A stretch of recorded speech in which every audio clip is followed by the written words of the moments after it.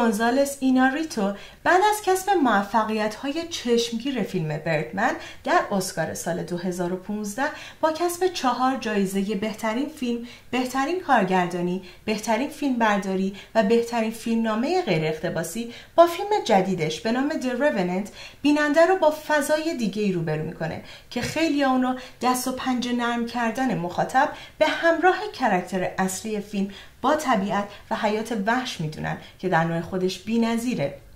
این فیلم برگرفته از رمان مایکل پانکه رومانی هست که بر اساس داستانها و افسانه های مردمان مرزنشین و بومی به رشته تحریر در اومده.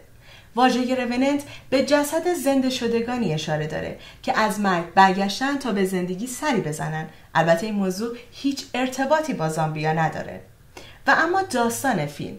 کپتن گلاس که نقشون رو لئوناردو دیکاپریو به زیبایی تمام میفا می‌کنه طی انجام عملیاتی در سرزمین های شمالی در قرن 19 میلادی مورد حجوم افراد یک قبیله سرخپوست قرار می‌گیره و بیشتر افراد گروهش قتل عام میشن.